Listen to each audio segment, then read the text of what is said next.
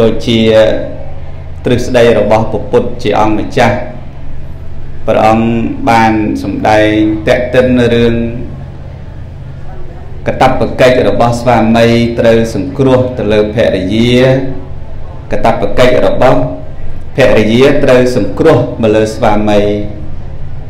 ហើយស្វាមីមានប្រមាណប្រភេទភរិយាមានប្រមាណប្រភេទចេះតាមតែព្រះហ្នឹងឯងអាត្មានោះ ហើយយើងយកមកថ្លឹងថ្លែងទៅលើសភាពបច្ចុប្បន្នហ្នឹងមង្គលបច្ចុប្បន្ននិងមង្គលសម័យដើមព្រះអង្គក៏ធ្លាប់ទៅចូលរួមមង្គលការដែរណាញោមប្រពុតណាញាតិញោមញាតិញោមបើប្រពុតចូលរួមមង្គលការការបោះប្អូនលោកឈ្មោះនុននោះថ្ងៃមង្គលមិនប្រពុតយាងទៅបើ ទៅមិនតន់បានសម្ដែងពធអីទេប៉ុន្តែនុនហ្នឹងត្រូវមាននិស័យបានសម្រេចមគ្គផលក៏បានឲ្យនុនហ្នឹងកាន់បាតតាមព្រះអង្គតាំងពីផ្ទះរហូតដល់វត្តភៀនប្រកែប៉ិនខ្ជិលទេសរឿងហ្នឹងវាខុសហេតុប៉ិនក្រំថាពុទ្ធក៏ព្រះអង្គធ្លាប់យាងទៅក្នុងកម្មវិធីមង្គលការចឹងដែរចូលរួមមង្គលស្រីសួស្តី យ៉ាងណាមិញធម៌ពុទ្ធក៏សម្បូរបែបដែរតែមិនសូវមានអ្នកមុនទេសការចឹងទៅធម៌ហ្នឹងក៏កប់ទុកចោលចឹងទៅមិនសូវយើងដឹងដឹងចុះពុទ្ធសំបីតកាក៏ទូលមានដែរណាថាទូលមានហើយបើនិយាយពីប្រពៃណីទំនៀមទម្លាប់ស្រីហើយនឹងប្រុសនេះម៉ាអាស៊ីយើងនេះគ្មានណាដល់ខ្មែរទេដឹកមកកម្មម៉ាស់មកអស់ផង តាំងពីច្បាប់ស្រីតាំងពីច្បាប់ប្រុសតាំងពីលក្ខស្រីតាំងពីលក្ខប្រុសតាំងពីទំនៀមទម្លាប់អូក្រិតក្រំតាំងជំនាន់ញោមមិនតាន់កើតនោះអាអាត្មាក៏មិនតាន់កើតដែរប៉ុន្តែគឺសបោបែបញាតិញោមស្រីស្រីដឹងហើយចាស់ចាស់ធ្លាប់និយាយតតគ្នាមែនទេញោមណាហើយបើតើមើលអាច្បាប់ស្រីសភៅច្បាប់ស្រីសភៅច្បាប់ប្រុសញោមអានចង់ឈឺក្បាលព្រោះកាលមុនវាផ្សេងឥឡូវវា ផ្សឹងខុសគ្នាញាតិញោមហើយបើនិយាយពីលក្ខណៈរបស់ស្ត្រីពីមុនផ្សេងឥឡូវផ្សឹងលក្ខណៈរបស់បុរសពីមុនផ្សេងឥឡូវនេះផ្សឹងចឹងយកធម៌ពីមុនមកទេសឥឡូវខ្មែរយើងអត់ត្រូវគ្នាទេមែនទេញាតិញោមទៅមិនរួចទេហើយពីមុនម្ដាយឪពុកតឡងតឡងហ្នឹងណា តែនៅភូមិជាមួយគ្នាហ្នឹងវិចក្វល់វិចវិតតឡងវិចក្វល់វិចវិតតឡងពេលខ្លះមិនដឹងទៅយកណាយកណីបងប្អូនឯងចដូនមួយកាពេលខ្លះអាចទួតមួយទួតមួយកាចុំកុំឲ្យបែកទ្របដោយសារអីមកអំពីសម័យមុនវាផ្សេងសម័យនេះវាផ្សេងមែនទេញាតិញោមណាឥឡូវទៅតាមធម៌ព្រះថ្មក៏មិនទេសយូរដែរព្រោះ កូនកលោះកូនកំមុំមិនតាន់សូវចេះបត់ជើងហើយលោស្ពឹកបើចឹងទេមកល្មែកល្មងប្រហែល2 3ម៉ោងអីហ្នឹងចប់លឺចឹងតិចឡើងចោលលោកអត់មិនទេមិនដល់ថ្នាក់ហ្នឹងទេមិនតែកូនកលោះកូនកំមុំទេអ្នកប្រឡងទាំងសងខាងហ្នឹងក៏មិនសូវស្រួលដែរជើងនោះចឹងល្មែកល្មងស្មានលើកពាក្យមួយ ក្នុងមង្គលហ្នឹងតើពាក្យថា សិរីមង្គលឃើញនៅក្នុងសវត្តការស្រាប់ហើយណាញាតិញោមណាសិរីមង្គលតែអត់យកអាពាហ៍ពិពាហ៍មកទេព្រោះអាពាហ៍ពិពាហ៍វាមានន័យមួយទៀតតែថ្មយកពាក្យសិរីមង្គលពាក្យថាសិរីមង្គល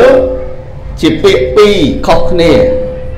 ហើយបើដាក់អាពាពីពាពាក្យមួយទៀតអញ្ចឹងក្នុងន័យសេរីមង្គលអាពាពីពា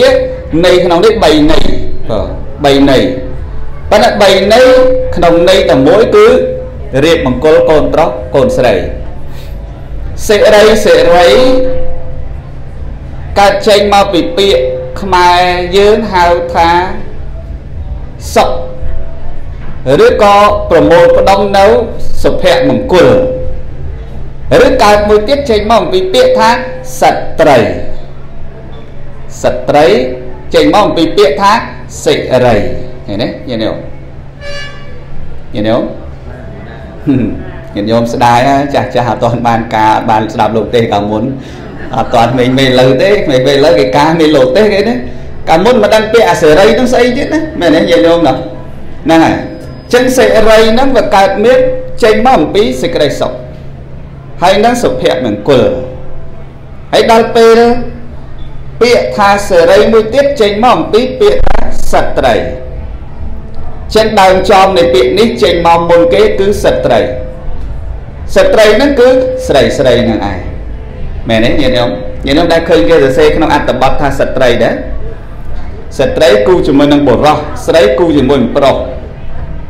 ប្តីគូប្រពន្ធភរិយាគូស្វាមីដល់ពាក្យថាមង្គលពាក្យថាមង្គលគឺអត់មានកង្វល់ហើយត្រជាក់ ដោយគេគេគេអាសានិយាយថាសូមឲ្យអ្នកមានសុភមង្គលសុភៈហ្នឹងប្រែថាការរស់នៅល្អវិនិច្ឆ័យល្អដល់ពេលមង្គលហ្នឹងសុខហ្មងនៅជាមួយគ្នាជាសុខដល់យើងដាក់ថាសិរីមង្គលបានន័យថាទាំងពីរអ្នកប្តីប្រពន្ធហ្នឹងត្រូវរស់ដោយសិរី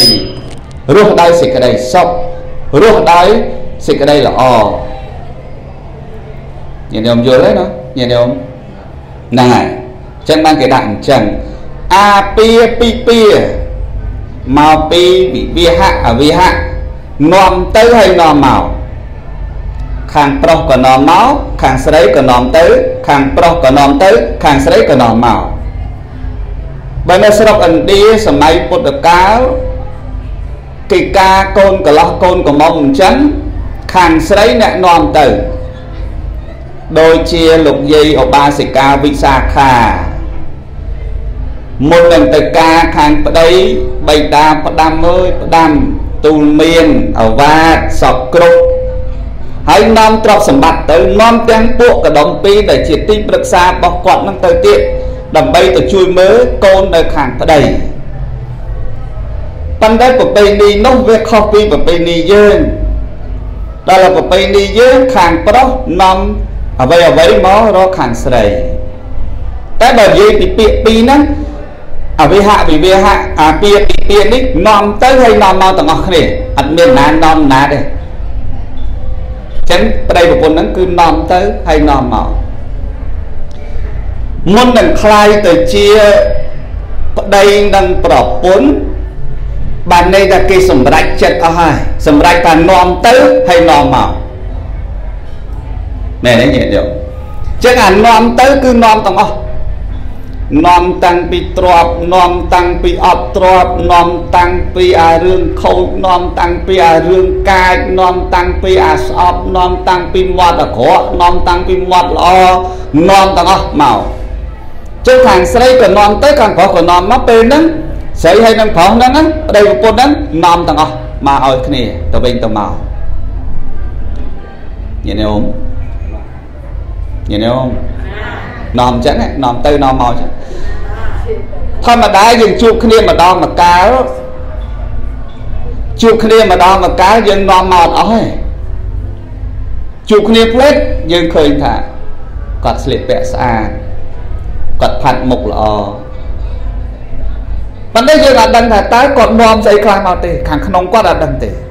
តែប្តីប្រពន្ធនេះអានាំទៅនាំមកមកទាំងអស់គ្នាតាំងចរិតរឹកពៀ អាស៊ីមតាំងពីកំណើតមកមកអស់ណាបើអានាំហ្នឹងនាំចឹងនាំទាំងអស់ទៅវិញទៅមកឲ្យគ្នាចឹងហើយបានគេថាមុនសម្រេចយកប្តីប្រពន្ធតើតែគិតមើលសិនគិតគិតគិតគិតអូច្បាស់សិនព្រោះប្តីប្រពន្ធគឺជាការនាំទៅហើយនាំមក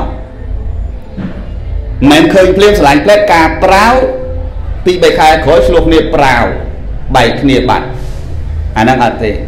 តើតែគិតឲ្យច្បាស់ថានាំទៅហើយនាំមកសិនចឹងបានន័យថាខាងប្រពន្ធនៅនេះឬខាងប្តីនៅនេះនាំមកហើយយើងក៏នាំទៅទៅវិញទៅមកអញ្ចឹងបកគលឲ្យគ្នាទៅវិញទៅមកនៅអ្វីទាំងអស់មិនមែនបកគលតែទ្រព្យសម្បត្តិមិនមែនប្រគល់តែមេដាបេដាទាំងសងខាងមិនមែនទេ គឺនាំទៅនាំមកអញ្ចឹងឲ្យយល់ពាក្យថាអាពាពីពាមកអំពីពាក្យថាអវិហៈវិវិហៈនាំទៅហើយនាំមក ចឹងបានយើងលើពាក្យអាពាហ៍ពិពាហ៍ហ្នឹងពេលខ្លះមិនសូវយល់ដែរហ្នឹងអ្នកខ្លះអ្នកធ្លាប់ការហើយអីហ្នឹងក៏មិនដឹងថាម៉េចដែរចាញ់លោកអត់ដែលការមកមិនដឹងនាំទៅនាំមកអញ្ចឹងចឹងហើយបានគេមុនសម្រាប់ប្តីប្រពន្ធហ្នឹងគេគិតច្រើនណាស់មានអ្នកខ្លះគិតគិតតលចង់ចាស់ជ្រុលហ្នឹងញោមយោមយោ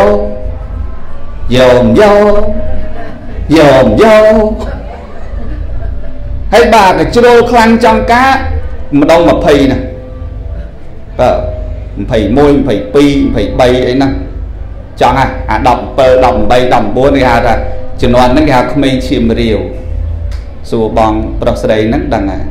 កាលពីក្មេងឈាមរាវហ្នឹងគឺថាអត់មានគិតអីទេសូវខ្វល់ទេគ្មានដឹងតែចង់មានចង់បានទេសំខាន់ឲ្យតែស្រឡាញ់គ្នាបានហ្នឹងហ្មងតែដល់ពជាពេលហ្នឹងឲ្យយូរតិចទៀតចាប់ដើមឃើញ សម័យ Facebook រុញចុះរុញឡើងឃើញប្តីប្រពន្ធកាប់គ្នាឲ្យអញអត់យកទេរុញចុះរុញឡើងឃើញប្រពន្ធក្បត់ប្តីអូយអញអត់យក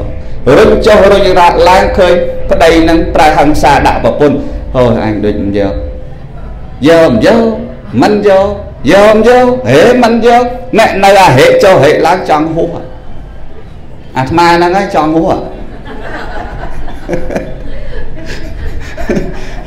បើអាហ្នឹងមកពីគិតអញ្ចឹង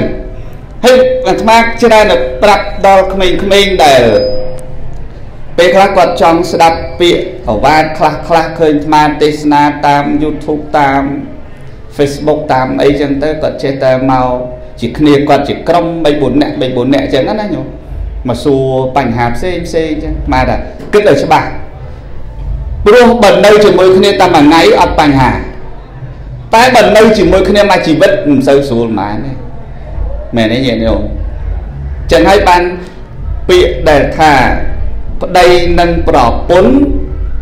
គឺជាពាក្យដែលគួរនឹងចាប់អារម្មណ៍ឥឡូវនេះនៅជាលោកឌីសុងឌីឈុនសុងមិនតាន់ប្តីទេហើយប្រពន្ធក៏មិនតាន់ជាប្រពន្ធទេនៅកូនតេងលីលីឡើយ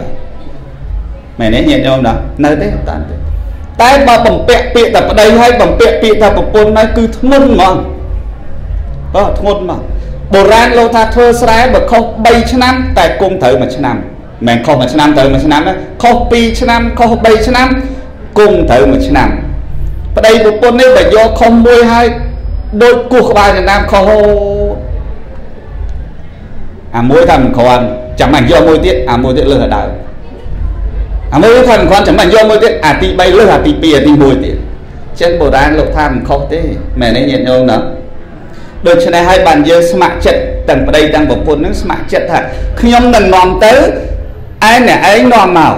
បានសម្រេចចិត្តអាពាពិពាមកអំពីពាក្យនាំទៅហើយនាំមកឥឡូវនាំអីខ្លះចរិតទាំងបានបានបញ្ចេញទាំងអស់ក្នុងពេលដែលយើងនាំទៅនិងនាំមកពីមុនយើងជួបមិត្តភ័ក្តិលាក់គ្នា លាក់ចរិតគ្នា ត្រឹមតែមកស្គាល់គ្នា ត្រឹមតែមិត្តភ័ក្តិលាក់ចរិតគ្នាស្គាល់ផ្លែកផ្លែកមិនសូវចេញទេអាចរិតអស់នឹងនោះតែអានៅជាមួយគ្នារហូតចរិតហ្នឹងចេញមកហើយចរិតមែនតែនមកអស់អាចរិតកាចអាចរិតខំច្រើនអាចរិតម្ញិចម្ញក់អាចរិតនិយាដកខ្ញីអាចរិតស្អីស្អីហ្នឹងមកអស់លីងត្រង់តែមកអស់លីងនេះទទួលបានមិនបានអាហ្នឹង គ្នាឯងហើយអស់ហើយអស់ណាមក control លើនឹងទៀតហើយមែនទេញាតិញោមដល់មិនចឹងទេញាតិញោមឥឡូវបើយើងការហើយចាប់ពីស្អែកទៅខាងស្អែកទៅជាប្តីជាប្រពន្ធយើងរៀងធូរបន្តិចយើងអត់បានទៅ control ទៅលើពួកគាត់ទៀតទេប៉ុន្តែយើងគ្រាន់តែតាមមើលពួកគាត់ក្នុងនាមជាម្ដាយឪពុកសុកទេកូនរកស៊ីចេះទៅអីពុកម្ដាយធ្លាប់ដើរមុនហើយល្អអញ្ចេះចេះ ហើយរឿងគេធ្វើតាមធ្វើតាមអាហ្នឹងរឿងគេហើយចាប់ពីថ្ងៃដែលគេមង្គលហើយទៅអញ្ចឹងហើយបានយើងថាមុននឹងការសម្រេចសម្រេចសិនតែព្រមមិនព្រមទទួលមិនទទួលអ្វីទាំងអស់ពីចរិតរបស់ខ្ញុំយកមិនយកអានឹងបានទៅហើយមើលមើលជុំវិញខ្លួនយើងថ្ងៃមង្គលនឹងតើនរណាខ្លះវេទនាដោយសារតែយើងហត់ណាស់បើអ្នក ជួបផ្ទាល់ដូចញោមញោមអញ្ចឹងបានដឹងថាហត់ណាស់ការកូនម្នាក់សេចក្តីសុខឯងតែពីរនាក់រវល់អស់មនុស្សមកតបទាំងខាងប្រុសទាំងខាងស្រីហត់ឥឡូវហត់តែមកមិនចាំមើលស្អែកតិចទៀតមែនទេញាតិញោមអ្នកតម្លងទាំងសងខាងទាំងបិបាខាងប្រុសខាងស្រីហ្នឹងឥឡូវល្មមទេកិច្ចកម្មវិធីសាសនាអីខ្លះខ្លះមកអាដល់ទៅពេលភ្ញៀវហ្នឹងផងភ្ញៀវមកហ្នឹងផង ហើយអញញឹមអញញ៉ាមកអត់សូវអញញឹមអញញឹមចេញទៅស្ងួតថ្មិញអស់អត់អត់ចង់អញញឹមតែអញញឹមអស់ស្ញែងខាងប្រុសក៏មិនសូវស្គាល់អាខាងស្រីនេះក៏មិនដឹងថាភៀវខាងប្រុសមួយណាគាត់ឲ្យតែឃើញអញញឹមយកមកអាហ្នឹងហើយដែលថាសុខចិត្តពលីកម្លាំងទាំងអស់ហ្នឹងដើម្បីសេចក្តីសុខអ្នកទាំងពីរហ្នឹងអញ្ចឹងមុននឹងលែងគ្នាមកផ្ដាំអញ្ចឹង អ្នកដែលចង់លែងទាំងអស់មិនមែនតែមង្គលការមកប្រាប់ពាក្យហ្នឹងទេប៉ុន្តែមុននឹងឆ្លោះគ្នាឈានដល់ពាក្យថាខ្ញុំចង់លែងទៅចាក់វីដេអូមើលសិនទៅមើលឲ្យចប់ហើយសម្រាប់ចិត្តអស់ណាណាខ្លះហត់ដោយសារយើងហ្នឹងមែនទេញាតិញោមហើយចូលចាក់វីដេអូឃើញលោកប៉ាឡូជួនកាកដាដែរណាបើហើយមើលអាវីដេអូទេសនានោះឲ្យចប់ទៅដឹងថាអូអញបានទេវេទនាណាស់ហត់ណាស់រឿងអីឆ្លោះតែពីរនាក់ចាប់ដើមមកលេងគ្នាមែនទេញាតិញោមណា ចឹងហើយបាននៅក្នុងសិភៅមួយជីវិតអាពាហ៍ពិពាហ៍និពន្ធទៅដោយលោកហេងមនីចិន្តាសិភៅអាពាហ៍ពិពាហ៍ញាតិញោមប្រហែលជាធ្លាប់អានហើយមកដឹងអាទេសកាអាត្មាអានអាសិភៅកាហ្នឹងសិនចេញមកពីប្រាសាទនាងខ្មៅមកចំចប់មកក្បាលបាទបើហើយអានទៅដឹងនាង ដឹងចៅចិត្តខុនរីនឹងអាម៉េចដឹងរឿងស្អីនឹងអាម៉េចទុំទាវនឹងអាម៉េចអាម៉េចអស់ហើយប៉ុន្តែសរុបមកនៅត្រឹមតែពាក្យថាប្តីប្រពន្ធតែម្ដងមែនទេញាតិញោមប្តីប្រពន្ធប្តីប្រែថាបុរសដែលមានកតបកិច្ចត្រូវចិញ្ចឹមប្រពន្ធប្រពន្ធប្រែថានារីដែលមានកតបកិច្ចត្រូវប្តីចិញ្ចឹមនិងរក្សារបស់អាហ្នឹងពាក្យប្តី ពាក្យថាប្រពន្ធតើញាតិញោមអើយនឹងប្តីប្រពន្ធស្វាមីនិងភរិយា ស្វាមីប្រែថាអ្នកជាម្ចាស់អ្វីអ្វីទៅលើគ្រួសារគឺយើងជាម្ចាស់នៃគ្រួសារមួយហ្នឹងភរិយាប្រែថាស្ត្រីដែលជាអ្នករៀបចំឲ្យអ្នកជាម្ចាស់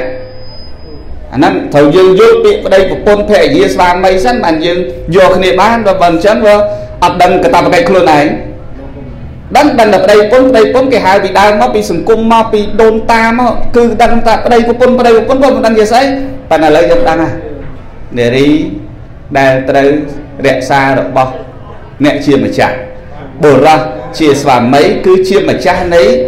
គ្រួសារនឹងឯងជាអ្នកស្ថាបនិកនៃគ្រួសារនឹងឯង ចឹងដែលបុរាណលោកថាចេះទុកចេះដាក់មានអ្នករកមានអ្នកទុកហើយបើមិនចេះទុកមិនចេះដាក់ចាស់បុរាណលោកសរសេររឿងនាងកជើធ្លុះមកមួយទៀតដើម្បីឲ្យខ្មែរយើងកូនខ្មែរយើងចេះអានរឿងនាងកជើធ្លុះញាតិញោមធ្លាប់អានសភៅហ្នឹងហើយញាតិញោមមកធ្លាប់មើលរឿងហ្នឹងដឹងហើយប្តីក៏ល្ងងអត់យល់អាប្រពន្ធក៏ជើធ្លុះណាយោងណាគេនេះញាតិញោម គ្រាន់តែមានមុខនឹងដូរប្រពន្ធជាមួយនាយសំពៅហើយមានប្រពន្ធនាយសំពៅអតីតប្រពន្ធនាយសំពៅហ្នឹងគាត់ជាមនុស្សមិនមែនកជើធ្លុះទេគាត់ជាអ្នកចេះប្តីល្ងងសុទ្ធតែប្តីទៅរកអាដើមខ្លឹមច័ន្ទមកយកមកឲ្យប្រពន្ធកជើធ្លុះលមុនដុតរហូតអត់ដែលដឹងរឿងអីទេតែឡើយយកនាងនឹងមកនាងនឹងសួរប្តីចុះបងឯង បានអាដើមខ្លឹមច័ន្ទពីណាដើមមិនសួរខ្លឹមច័ន្ទសួរដើមនឹងមកពីណាទៅអូច្រើនណាស់ច្រើនណាស់ចង់បានណាបានគាត់ដឹងអានឹងវាមានតម្លៃឲ្យប្រមូលមកច្រើនលក់បានលុយមកពុកអានេះគឺជើធ្លុបសំនឹងអ្នកចេះគិតញាតិញោមតើលានាងទៅជើធ្លុបទៅដល់ជាមួយប្រពន្ធនេះសំពើមានឯណាមិនយូរមិនផ្លាញអស់ចឹងមិនមែនលយតែមកខាងមកខាងទេណាយោងគ្នាចឹងមែនទេញាតិញោមណាហើយមិនមែនចាស់ចាស់យើងមិនបដៅទេចាស់ចាស់យើងបដៅចឹងញាតិញោមមើល រឿងគេជើធ្លុះអីហ្នឹងយើងមើលឲ្យដឹងហើយរឿងហ្នឹងថា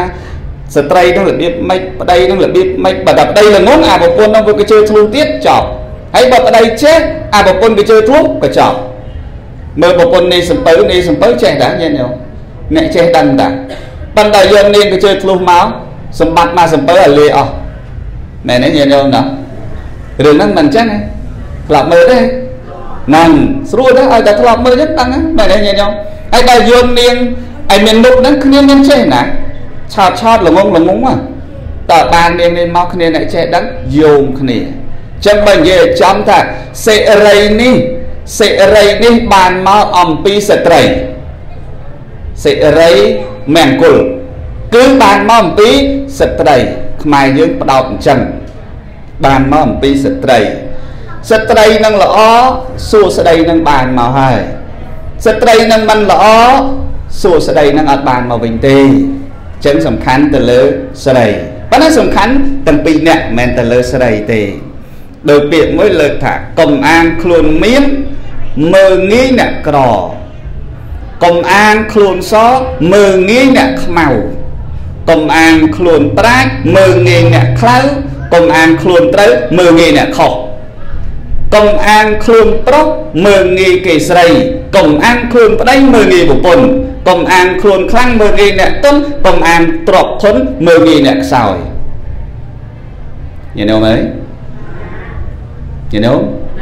ហ្នឹងហ្នឹងនិយាយពីថារឿងមើងងាយគ្នាមែនទេ You know ណាបើយើងគិតថាកុំ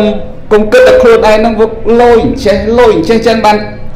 នៅក្នុងសភៅជីវិតអាពាហ៍ពិពាហ៍ហ្នឹង លោកហេងមនីចិន្តាហ្នឹងគាត់សរសេរថាស្នេហាហ្នឹងមុននឹងចាប់ដៃគ្នាសម្ដេចជាស្នេហាគេឲ្យនិយមន័យដល់ទៅ5ហើយមិនមែនលោកទេសហ្នឹងវាបកការឿងហ្នឹងទេវាបកកាតាមសភៅហ្នឹងទេអត្តន័យទី1គេថាឲ្យតែមានទ្រព្យសម្បត្តិជីវិតស្នេហាគូភរិយាហ្នឹងសុខហើយមានឡានមានលុយមានផ្ទះមានសម្បែងហ្នឹងជានិយមន័យទី1 និយមន័យមួយទៀតគេថាអ្នកដែលមានស្នេហាបានសុខគឺមានបុណ្យស័ក្តិមានបុណ្យស័ក្តិសយុះងារឯកឧត្តមងារតកែងារអុកញ៉ាងារកហបតីហ្នឹងគេថាស្នេហាមួយហ្នឹងបានសុខហើយនិយមន័យមួយទៀតនិយមន័យមួយទៀតគេថាស្នេហានេះវាកើតអំពីចិត្តហើយនឹងចិត្តយល់ចិត្តគ្នាសុខហើយមិនបាច់មានអីស៊ីក៏សុខដែរ គេថាចិត្តនិយមនៃស្នេហាគេមួយទៀតគេថាស្នេហាដែលទៅបានជាគូភរិយាស្វាមីអាស្រ័យលើមេបាទាំងសងខាង មើលចរិតកូនត្រូវគ្នាហើយគាត់ថាសុខហើយជានិយមន័យមួយទៀតនិយមន័យមួយទៀតរបស់លោកខាងលិចគេថាសំដៅទៅលើការរួមរស់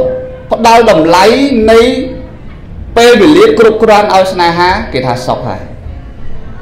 ចឹងបើយកមកគិតទាំង5នេះស្មានមិនមែនអ្នកសម្រេចទេ បងប្រុសបងស្រីអ្នកសម្រេចថាតើសេចក្តីសុខហ្នឹងវាកើតត្រង់ណាហើយជីវិតស្នេហានិងប្តីប្រពន្ធវាកើតត្រង់ណា លោកកកដាមិនទាន់ការម្ដងទេចឹងញោមញោមអាចដឹងហើយថាសម្រេចត្រង់ណា ទី1យកអត្តន័យថាមានទ្រព្យសុខយើងមើលទៅលើអ្នកមានទ្រព្យច្រើនណាស់ មានរហូតទៅដល់ងារជាអុកញ៉ាមហាសេដ្ឋីតែពេលខ្លះប្រពន្ធរកសេចក្តីសុខអត់បានទេមិនបាច់នៅស្រុកគេទេស្រុកខ្មែរក៏សម្បូរដែរមែនទេញាតិញោមណាតែគេមិនប្រាប់យើងយើងមិនដឹងប៉ុន្តែយើងរទីតែអាត្មាថាមិនខ្វះទេមិនមិនខ្វះទេប្តីងារដល់អ្នកធំតែសេចក្តីសុខរបស់ប្រពន្ធនិងគ្រួសារមួយហ្នឹងអត់បានសេចក្តីសុខផងមែនទេញាតិញោមណា មិនបាច់តអុកញ៉ាទេតែមហាសេដ្ឋីរៀងគ្រាន់បើបន្តិចងារត្រឹមថាថៅកែឬប្រធានក្រុមហ៊ុនហេសុយសេចក្តីសុខនៅគ្រួសារទៅមិនរួចផងក៏មានដែរនេះនិយាយពីអ្នកមានទ្រព្យសម្បត្តិមិនមែនឲ្យតែមានសុខទេមែនទេញាតិញោមយកនិយមន័យមួយទៀតដែលលោកហេងមនីចិន្តាគាត់ថាទៀតគាត់ថាមានបុណ្យស័ក្តិគ្រួសារប្រពន្ធប្តីហ្នឹងរៀបការឲ្យសុខហើយឲ្យតែមានបុណ្យស័ក្តិ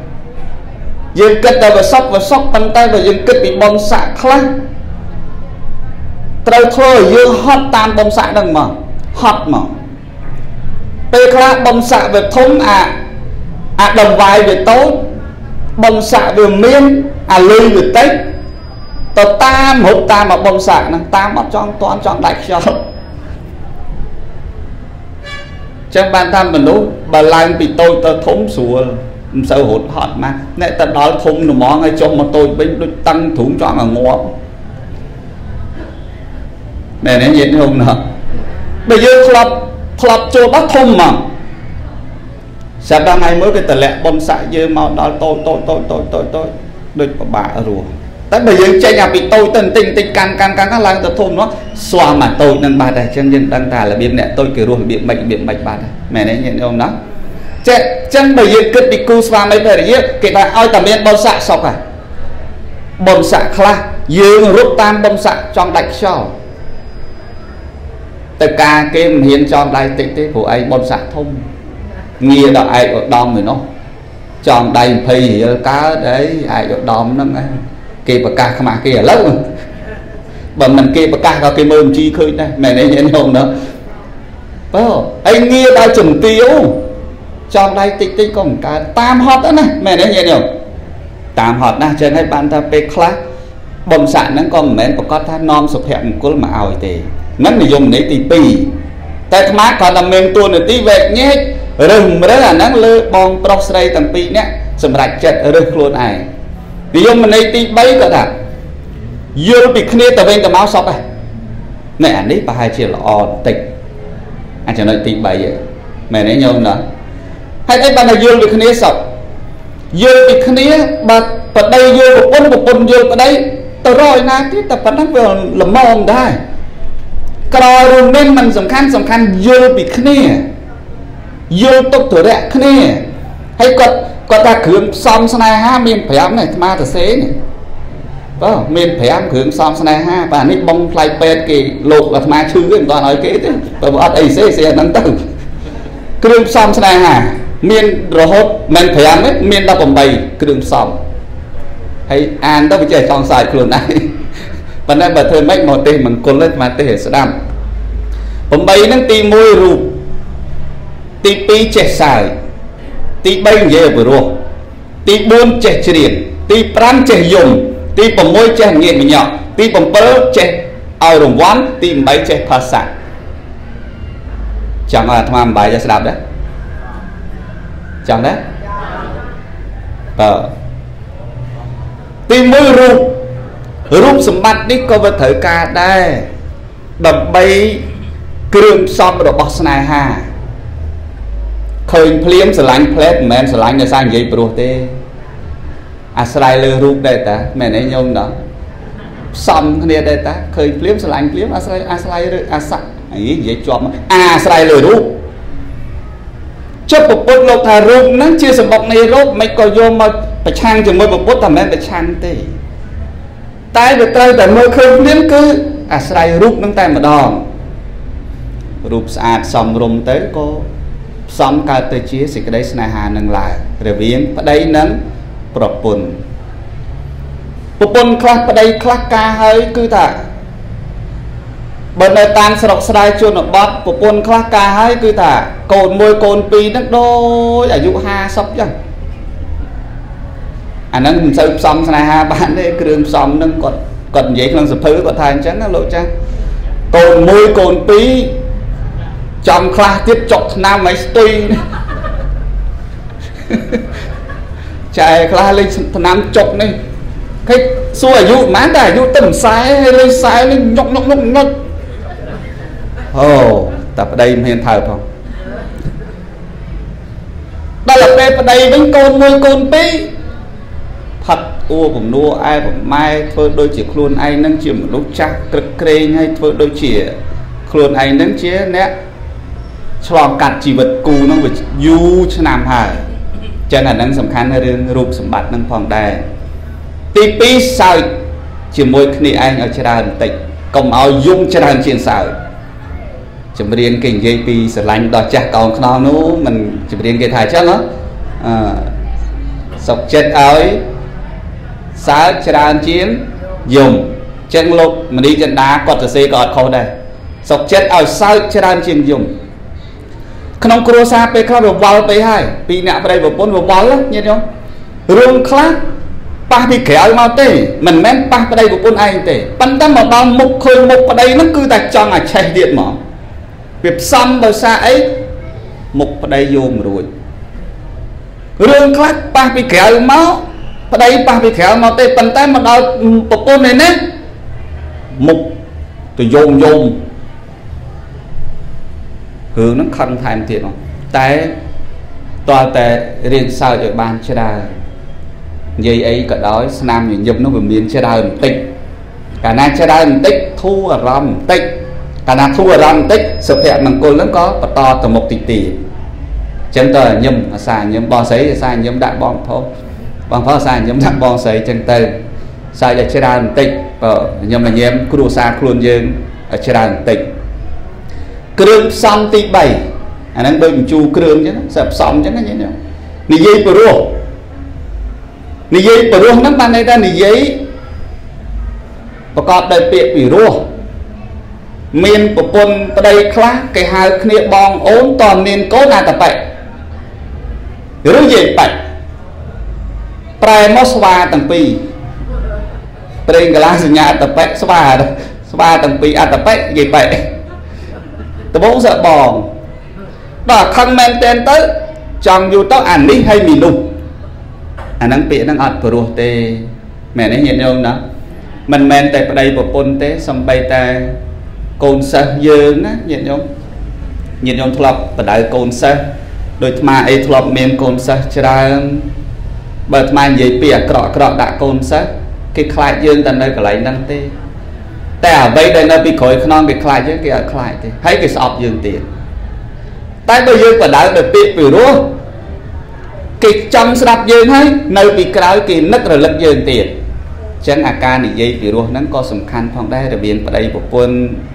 និយាយពាក្យឲ្យតម្លៃគ្នាទៅវិញទៅមកគ្រឿងផ្សំទី3គ្រឿងផ្សំទី4គាត់ថាឲ្យចេះច្រៀងផងពេលប្រពន្ធខឹងអន់ចិត្តចំណុចណាមួយប្តីអាចច្រៀងប្រឡប់ដើម្បីឲ្យប្រពន្ធឈប់ខឹង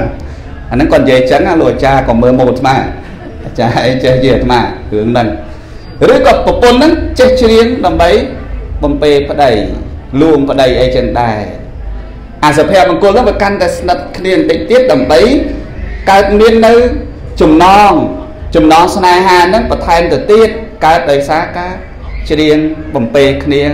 ប៉ែមលហែមគ្នាម្ដងម្កាលហ្នឹងចំណុចគ្រឿងផ្សំរបស់គាត់គឺគ្រឿងផ្សំទី4នៅអាទី5នេះគាត់ថាផ្សំដោយយំត្រូវចេះយំទៀតហើយយំនេះមិនបាច់ណាបរៀនទេប៉ុន្តែមិនមែនយំដោយ ប្តីឬប្រពន្ធធ្វើបាបទេយំដោយស្រណោះរឿងអីមួយចេះចាប់ផ្ដើមចេះធ្វើឲ្យទឹកភ្នែកហូរដោយសារមើលទៅគិតថាគាត់នឹងស្រឡាញ់អញមកណាឃើញទេញាតិញោមគ្រាន់តែឯងមានបញ្ហាប៉ុណ្ណឹងគាត់យំឡើងឡើងចុះបើបាត់បង់ជីវិតអញទៀតតើគិតមិនអញ្ចឹងអញមិនអាចដកចិត្តពីអ្នកនឹងបានទេព្រោះអ្នកនឹងយំសម្បត្តិ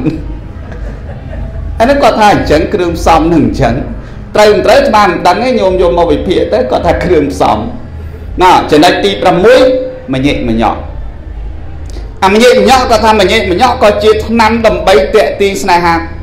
គូភរិយាស្វាមីនឹងដែរចេះមញិមញក់ចេះញោះគ្នាលេងចេះអឺធ្វើម៉េចឲ្យជាការសបាយនៅក្នុងគ្រួសារហ្នឹងញាតិញោមញាតិញោមក៏ធ្លាប់ដឹងហើយមែនទេញាតិញោមណាបើមិនចេះមញិមញក់ខ្លះក៏វាអត់មានសភាព